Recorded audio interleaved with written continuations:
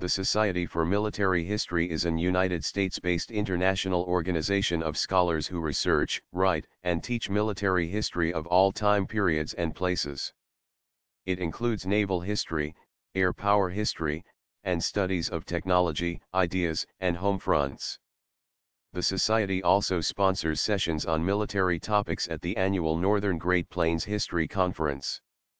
The Society was established in 1933 as the American Military History Foundation, renamed in 1939 the American Military Institute, and renamed again in 1990 as the Society for Military History.